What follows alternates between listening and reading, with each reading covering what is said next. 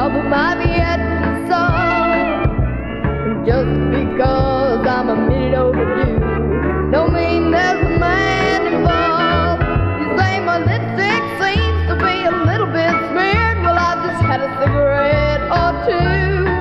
And why you one finger at me, honey? Three pointing back at you.